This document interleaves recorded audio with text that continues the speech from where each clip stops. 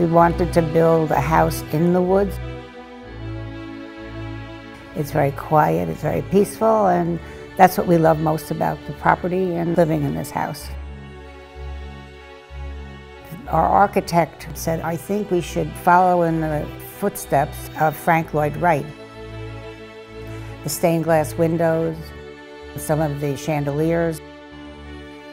It's a beautiful architectural piece of art that we live within.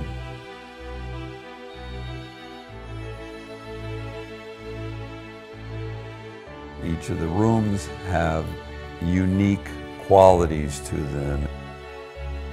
There's just features upon features that make this house unique.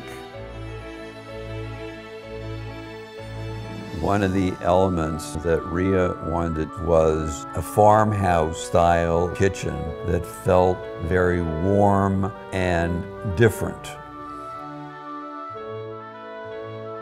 The pool just nests itself in the corner of the patio. The workmen took their time with the stone around the pool. My family comes here all the time and loves being in that pool. Some houses are lucky.